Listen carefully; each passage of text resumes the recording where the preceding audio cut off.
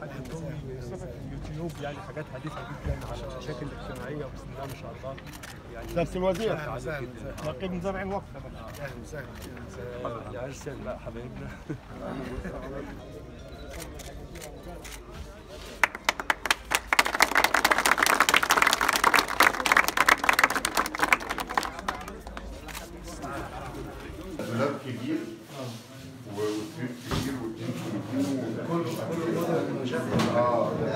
وبرضه نفس المراتب كله يعني من البداية للنهاية. فاضل ال reception ده أنا شايف آه ال- آه ال reception ده إن شاء الله بقى الخطوة الجاية هن- هنظبطه له بإذن الله يعني إن شاء الله.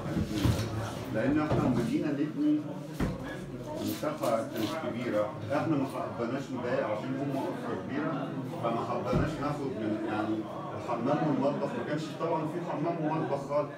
نشأناه في اتجاه تاني خالص عشان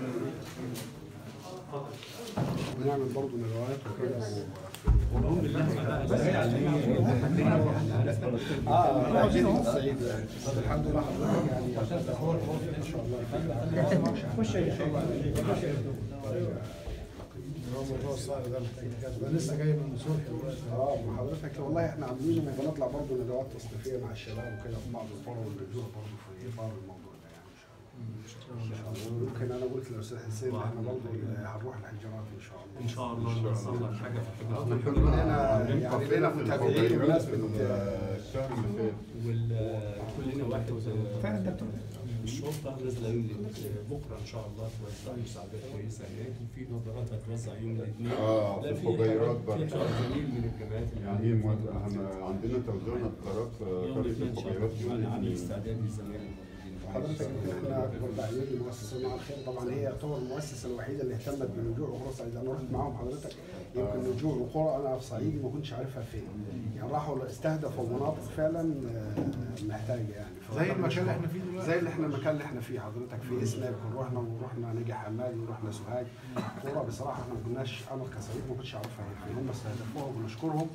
آه، بنشكر حضرتك.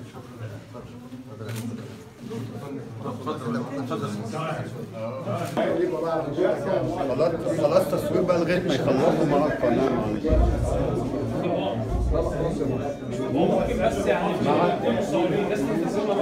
مجرد القناة. أنا كده مش عارف أصور اذنك معلش. الحمد لله خلاص بقى. حضرتك صورت ما خلاص؟ هنكمل